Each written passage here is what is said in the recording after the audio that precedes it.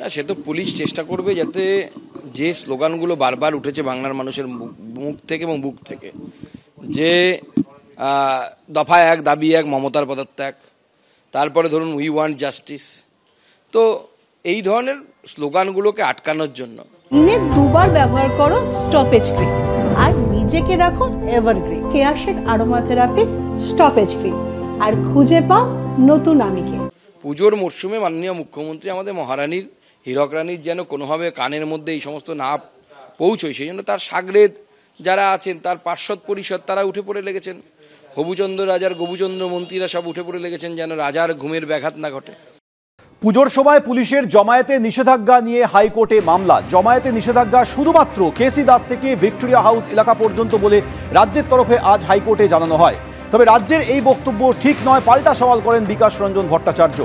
তাহলে এই এলাকায় যে পুজোগুলি হয়, সেগুলির কি হবে? সেই পুজোগুলির অনুমতি তো বাতিল করতে হবে।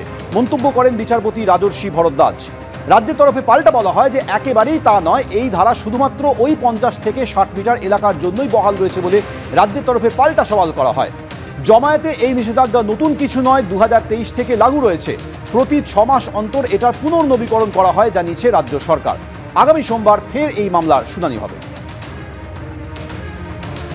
পরশু কলকাতা পুলিশের তরফ থেকে এই বিজ্ঞপ্তি জারি করা হয়, যে বিজ্ঞপ্তিতে একেবারে তারিখ নির্দিষ্ট করে দেওয়া হয়েছে, পঁচিশে সেপ্টেম্বর থেকে তেইশে নভেম্বর পর্যন্ত ষাট দিন। ধর্মতলা চত্বরে নির্দিষ্ট কিছু এলাকায় কোনো প্রকারের জমায়েত, মিটিং, মিছিল করা যাবে না।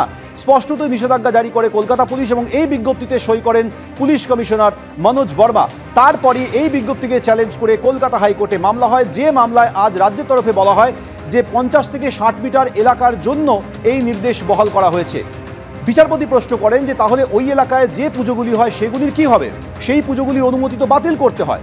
তখন রাজ্যের তরফে পাল্টা বলা হয় যে না, একেবারেই তা নয়। একটা বিভ্রান্তি তৈরি হয়েছে। শুধুমাত্র পঞ্চাশ থেকে ষাট মিটার এলাকার জন্যই এই নিয়ম বহাল করা হয়েছে। দু হাজার তেইশ থেকেই এই নিয়ম লাগু রয়েছে। জমায়েতি নিষেধাজ্ঞা নতুন কিছু নয়। ছ মাস অন্তর এটার পুনর্নবীকরণ করা হচ্ছে।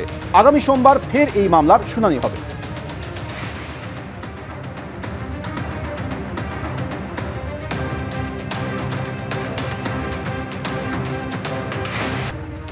যা বুঝলাম যে যেটা করতে চেয়েছেন সেটা হলো পুরনো একশো চুয়াল্লিশ। পাঁচজনের বেশি থাকতে পারব না, মিটিং করতে পারব না, প্রতিবাদ করতে পারব না, মিছিল করতে পারব না, একসাথে হাঁটতে পারব না। কেন? আজকে যা উকিলবাবুদের কাছে শুনলাম, তাতেই কেনর প্রশ্ন, ওনাদের উত্তর ওনাদের কাছেও নেই। ফলে আমরা যে উত্তরটা কাল থেকে ভাবছিলাম যে কেন করল, সেটাই প্রমাণিত হলো। গতকাল আমরা ধর্মতলায় ওখানে শুধুমাত্র একটা ইন্টিমেশন দিয়ে আমরা ওখানে প্রোগ্রাম করেছি। ওই পুলিশ তো আমাদেরকে বলল না যে এখানে ওয়ান ফর্টি ফোর আছে। তাহলে ওয়ান ফর্টি ফোরটাকে কি ছেলে খেলা করে দিচ্ছে নাকি? মানে ওয়ান ফর্টি ফোরটা কার জন্য? অপরাধ প্রবণতাকে দূর করার জন্য নাকি অপরাধ প্রবণতাকে আবার বেশি করে উস্কানি দেবার জন্য? কিসের জন্য? তাহলে কাদেরকে, কাদের অপরাধ প্রবণতাকে উস্কানি দিতে চাইছেন? আর যেখানে অপরাধ প্রবণতাকে কাটানো যেতে পারে, সেখানে আপনাদের ভূমিকা কি? আমাদের একটাই প্রশ্ন।